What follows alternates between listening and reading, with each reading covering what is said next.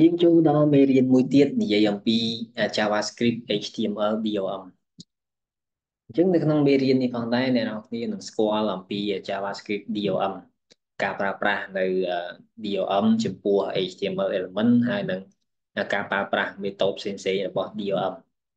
ហើយលើសពីនេះទៀតអ្នកនរគ្នានឹងបានរៀនអំពីការប្រើប្រាស់នៅ event ក៏ដូចជា event listener នៅក្នុង JavaScript DOM ផងដែរចឹង JavaScript DOM នេះគឺមកពីពាក្យពេញថា document object model វាគឺជា standard model មួយឬក៏ជា interface មួយនៃ JavaScript ដែលអាចឲ្យ JavaScript control ទៅលើ HTML element property ក៏ដូចជា method ផ្សេងផ្សេងនៅលើ HTML element របស់យើងហើយពិសេសទៅទៀតនោះគឺវាអាច control នៅ event នៅលើ object នៃ HTML element នីមួយៗនៅក្នុងន័យផ្សេងទៀតនោះគឺ DOM នេះគឺវាជា standard មួយដែលសម្រាប់ប្រើប្រាស់ក្នុងការ get នៅ element នៅក្នុង HTML document របស់យើងយើងអាចធ្វើការ change add ឬក៏ delete នៅ element ណាមួយចេញពី HTML document របស់យើងផងដែរ អញ្ចឹងនៅពេលដែល web page យើង HTML page របស់យើង load នៅលើ browser អញ្ចឹង browser វានឹង generate នៅ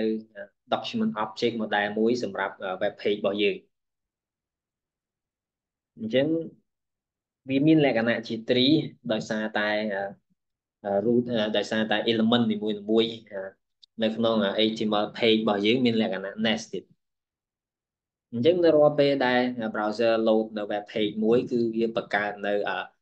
document object model មួយដោយបង្ហាញនៅក្នុង graph នេះអញ្ចឹងជាមួយនឹង JavaScript DOM នេះគឺជា feature មួយរបស់ JavaScript ដែលអនុញ្ញាតឲ្យយើង perform នៅ action ជាច្រើនទៅលើ HTML element នៅក្នុង web page របស់យើង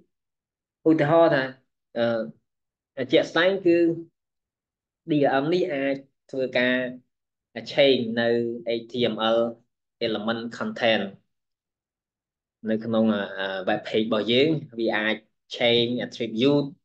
វាអាច change នៅ CSS style នៅក្នុង element របស់ web page យើងក៏ដូចជាអាច remove ឬក៏ add នៅ HTML element